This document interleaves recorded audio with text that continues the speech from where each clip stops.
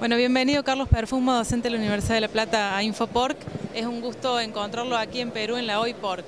Eh, y bueno, básicamente la idea era que nos comentara un poco acerca de la charla que, dio aquí acerca de las enfermedades subclínicas. Eh, ¿En dónde reside la importancia de las enfermedades subclínicas? Eh, básicamente en que hay enfermedades subclínicas que se manifiesta en forma subclínica, pero tienen impacto productivo que a veces es difícil de medir si no hay buenos registros. El otro hecho es el hecho de que estas subclínicas, por razones de manejo o pérdida de inmunidad o mayor desafío, se transforman en subclínicas y tienen gran impacto económico. Y por otro lado, porque muchas de estas enfermedades subclínicas tienen implicancia en la salud pública son zoonosis y es bueno conocerlas, particularmente para el personal que trabaja en las granjas, el colega veterinario, el personal que trabaja en las plantas frigoríficas y obviamente el que consume el producto. ¿Y cómo hacer para detectarlas? Bueno, eh, existen distintas metodologías. Eh, básicamente, nuestra experiencia es eh, hacer estudios transversales, ir a una granja, tomar muestras que pueden ser de materia fecal, pueden ser de exudado nasal, puede ser de eh, sangre, puede ser de suero o, incluso puede ser de materia fecal del piso, distintas edades, y eso analizar dependiendo de los objetivos del estudio. Tiene la ventaja de que los resultados se obtienen en forma inmediata y uno tiene idea de todo lo que está ocurriendo como si fuese una fotografía de la granja en ese momento. Tiene algunas desventajas que pueden llevar a malas interpretaciones. La otra forma es hacer un estudio longitudinal, ir a la granja, seleccionar X cantidad de lechones y seguir durante toda la vida, tomando muestras de las mismas características de acuerdo a los objetivos del estudio, pero los resultados, el inconveniente que se obtienen a los 5 o 6 meses. Y eso para un problema así acuciante no tiene valor pero es más realista. Y otra forma es una combinación de ambas. Si uno es asesor de una granja y va periódicamente, hacer un estudio transversal en su primera visita y luego marcar animales en esa visita y seguir esos animales en las próximas visitas de tal manera de tener las dos cosas y poder extraer, comparar resultados. ¿Y cuáles son los impactos productivos que ustedes han analizado más importantes? Eh, dentro de los impactos productivos, eh, básicamente lo que hemos estudiado es la parte de cuadros entéricos, especialmente en crecimiento y engorde.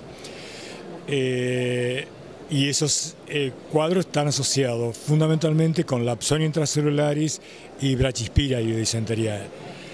El, el, impacto económico se basa básicamente en reducción de la ganancia de peso y eh, en el consumo o el mayor gasto en el uso de antibióticos. Obviamente es muy manifiesto cuando hay un cuadro de diarrea, por ejemplo. Es menos manifiesto es cuando eh, la materia fecal es normal o relativamente normal.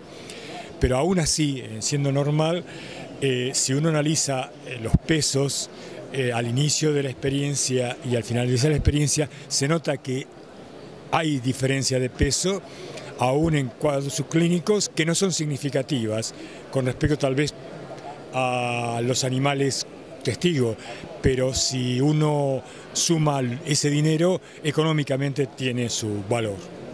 ¿Y cómo trabajarlo en la granja, digamos? ¿Cómo trabajar con, los responsables de la granja como para poder hacer esta detección?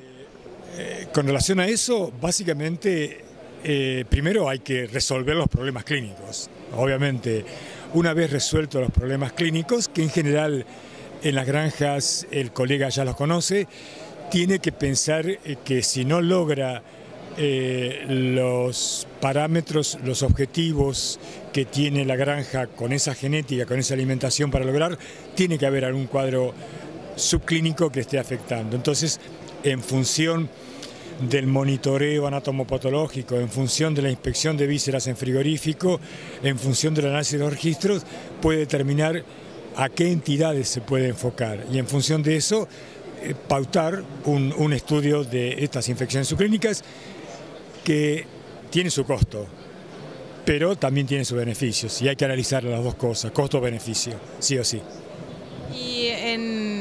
En en, la, práctica, digamos? ¿Cómo eh, se me hace que debe ser difícil no otorgárselo a un problema de otro tipo, no? Eh, sí.